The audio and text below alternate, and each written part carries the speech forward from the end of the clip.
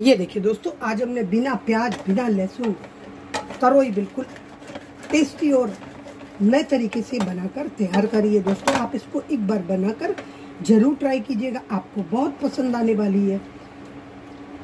तो चलिए आइए, मिलकर इसको बनाते हैं, देखते हैं कि इसको कैसे बनाते हैं। चलते हैं किचन में।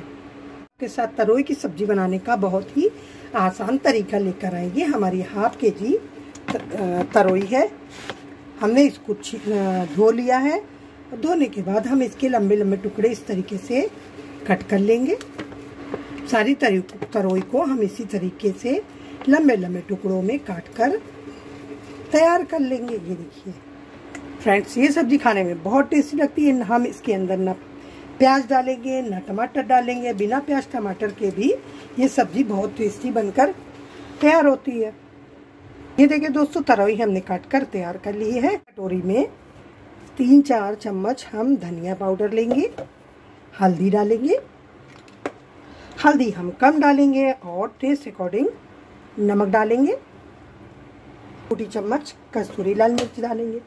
फ्रेंड्स ये सादी सी तरोई की सब्ज़ी भी आपको बहुत पसंद आने वाली है। और हाँ दोस्तों, आपसे एक छोटी सी प्यारी सी रिक्वेस्ट है। अगर अभी तक आपने हमारा चैनल सब्सक्राइब नहीं किया तो चैनल को सब्सक्राइब, बेल आइकन, ऑल पर प्रेस और वीडियो को फ्रेंड्स और फैमिली के साथ शेयर कीजिएगा।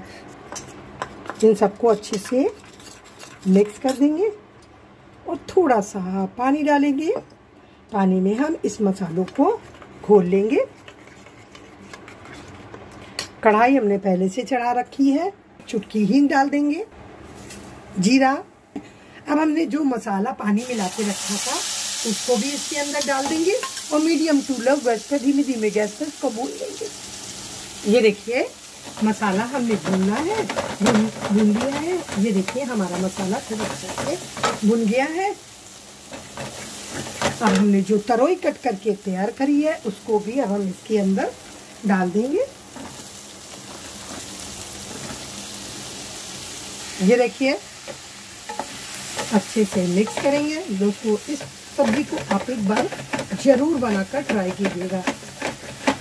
लंच में, डिनर में, यहाँ तक कि आप लोग, हम लोग अगर जब सफ़र सफ़र में जाते हैं ना तो इस तरीके से आप बिना पानी की तरोई बनाकर ले जाएँगे तो ये तरोई ख़राब नहीं होती और खाने में बहुत टेस्टी होती है। बिना प्याज, लहसुन, टमाटर की ये एक बार ज़रूर बनाकर आप लोग ट्राई कीजिएगा। ये देखिए, तरोई हमने ढककर पकने के लिए चढ़ाई थी।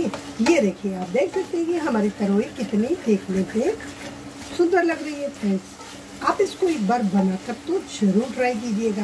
अब हम इसको एक मिनट तक भूनेंगे और एक चम्मच घर का दही ऐड कर देंगे। ये देखिए, दही हमने डाल दिए गैस की फ्लेम तेज रखेंगे और इसको हम खूब अच्छे से मिक्स करके भून लेंगे। है ना तो दोस्तों, आप इसको एक बार बनाकर ज़रूर ट्राई कीजिएगा। एक मिनट तक चढ़ा लेने देंगे, गैस की फ्लेम बंद कर देंगे, क्योंकि गैस की जो तपिस है, वो भी इसके अंदर लग जाएगी। तो मेरी सब्ज़ी देखनी है, कितनी सुंदर लग रही है। तो दोस्तों, आप बनाकर इसको ज़रूर ट्राई कीजिएगा। और कमेंट में ज़रूर बताइएगा कि आपको हमारी बनाई हुई है बिना प्याज लहसुन तरोई की तरोई की सब्ज़ी कैसे लगी? तो मिलते हैं अगले वीडियो के साथ। Thanks for watching bye bye दोस्तों, हमारी सब्ज़ी बनकर तैयार हो गई थी।